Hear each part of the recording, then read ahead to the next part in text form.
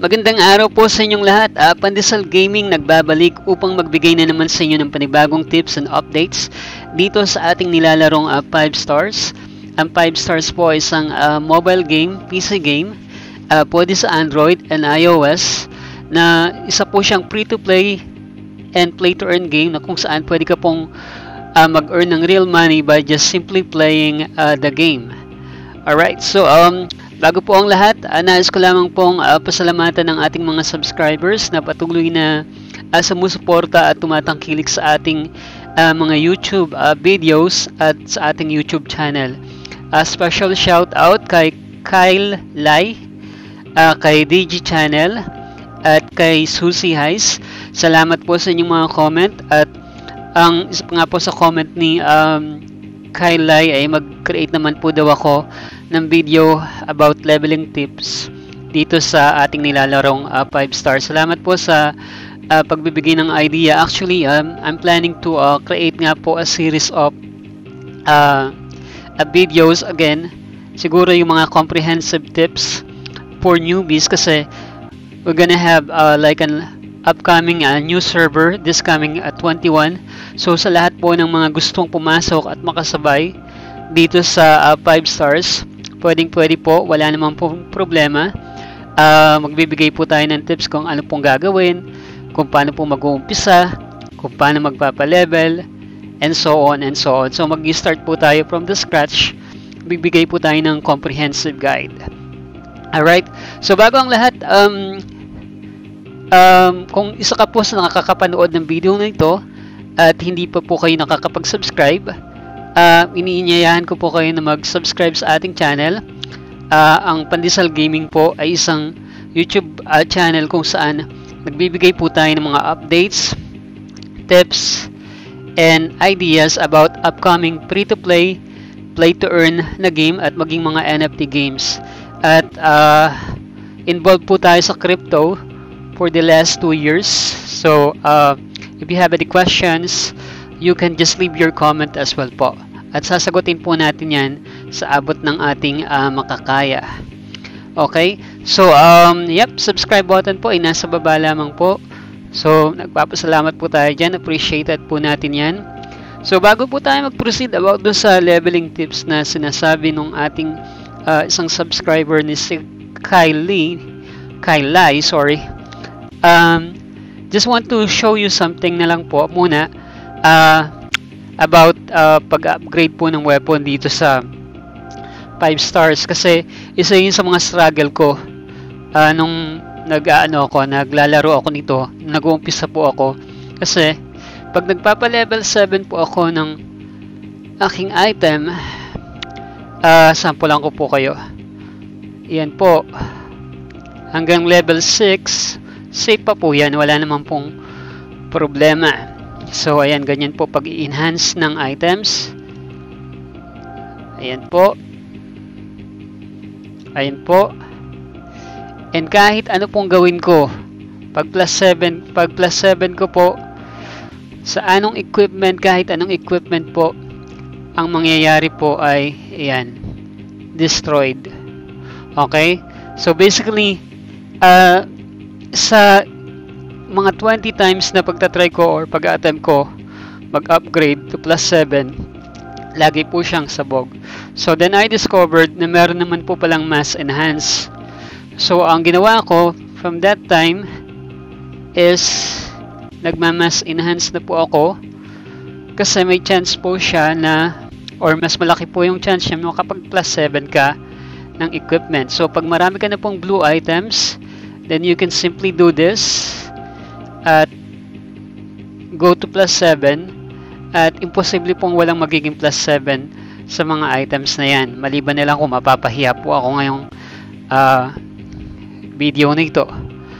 As you can see ayan po. Uh, apat or lima po ang naging plus 7 itry po natin ng plus 8 so eh, ano lang po naman to green items. So ayan po. Ayan. So basically um pag isa-isa po tayong nag enhance ng equipment, malaki po yung chance or yung chance po na mabasag is sobrang laki. But, kung nagmamas enhance po tayo, um, yun po. Kaya malaki po yung chance na meron tayong ma plus 7 or plus 8 na equipment. Okay? So, um, at the moment, so proceed naman po tayo sa leveling tips. Let's check po yung ating level. So, level 45 na po tayo. At si Kyle Lai is na-stuck po daw sila sa level 42. So, um, normal lang naman po kasi na ma-stuck ka po sa adventure kasi sa, sa level, I mean, kasi po, may mga certain stages dyan na hindi nyo na po kayang lampasan, especially kung ang lineup lang po natin is like uh, limited lang po tayo sa lineup. Okay? So, um, at nakakakuha lang po lang tayo ng ng experience through um what do you call this Citadel yung Citadel po makukuha po uh, nakakuha po tayo ng experience chat at pagko-complete po ng mga stages na ganito at the moment stuck ako sa isang stage which is 12-5 so uh, kailangan kong mas palakasin pa po yung ating um, ating lineup or maghanap tayo ng bagay na lineup dun po sa ating uh, sa ating stage na kailangang tapusin. So, uh, papakita ko po sa inyo ang ating lineup.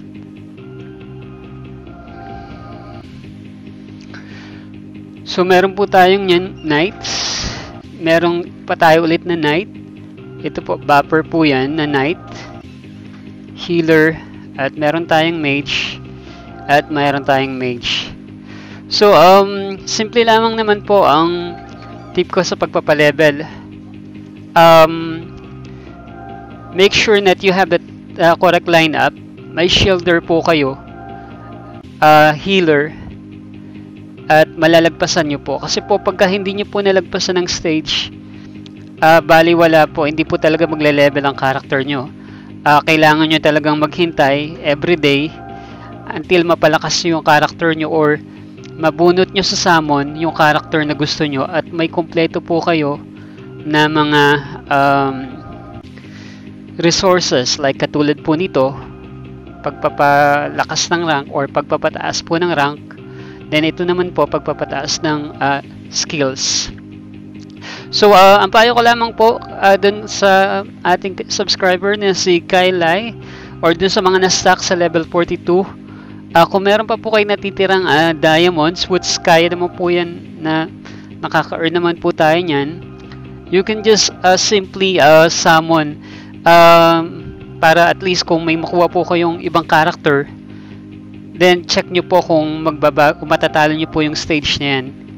Kasi po kahit hindi ganun kataas ang attack power niyan, uh, depende po yan sa element. I would suggest na mag-create po kayo ng ng um, lineup kung saan maraming stun. Uh, papakita ko po sa inyo yung magandang lineup para po maganda. Ayan po. Kung SR lang po tayo, syempre, of course, kung meron ka pong SSR na talagang nakuha mo or uh, gumastos ka, kayang-kaya po yan. Ito po si Veronica. Ito pala, si Veronica. Napakalakas po na buffer niyan. So ito, uh, papakita ko sa inyo ang magandang lineup na pwede nyong gamitin. Uh, huh? Unang-una po sa healer, kung meron po kayo, mag-mage po muna tayo. It's a damager po, ito po. Kung nakakuha po kayo ng ganyan, that's good. Yan, maganda po yan. Kasi po, uh, malakas po yung damage niya at the same time may stun. So mas ano po yung stun niya parang uh, ah, AOE po. Then pangalawa po, ito po bali halos sa lahat po ng lineup kahit saan po na walang I mean kahit saan po makikita niyo po siya kasi napakalakas po na healer niyan at the same time may shield pa na bibigay hindi lamang sa sa sarili kundi sa iba pang uh, characters. So, para AOE din po yung shield.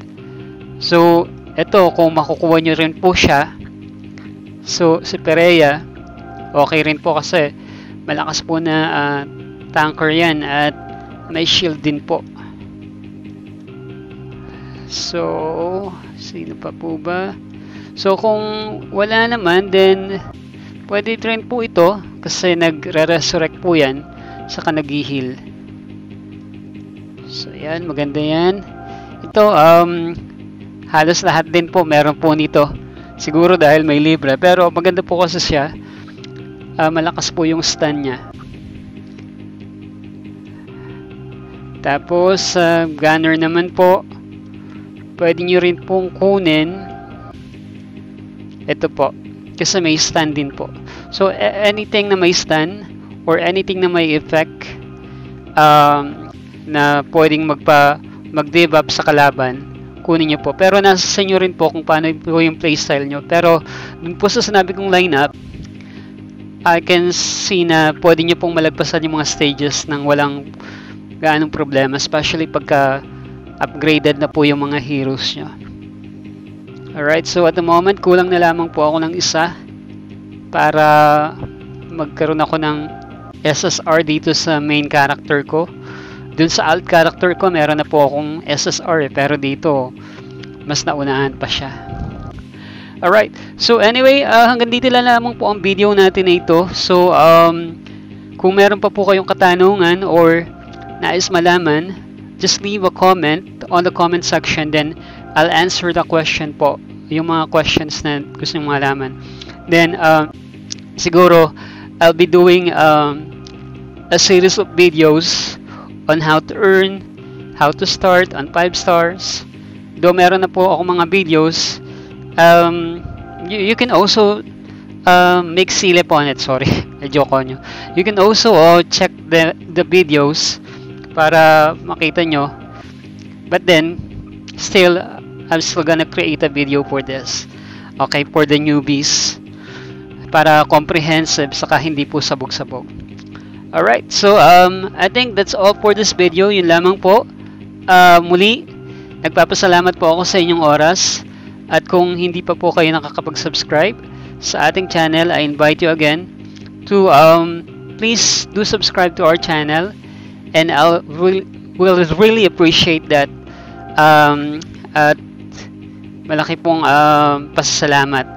At asahan nyo po na gagawa po tayo ng mga content kung saan pwede po kayo makapulot ng iba't ibang um, information tips and updates about upcoming free-to-play play-to-earn game existing man or of course upcoming nasabi ko pa ulit-ulit. At um, hopefully magkaroon na ng bull run or the crypto market will uh, go high at sama-sama po tayong uh, yumaman muli. At alam ko yung mga NFT games na yan at mga free-to-play play-to-earn na yan doon rin naman po papunta yan. Muli ito nga po ang Pandesal Gaming. Naghahatid sa inyo ng isang magandang araw at isang magandang buhay at isang positibong pananaw. Salamat po and God bless. Bye bye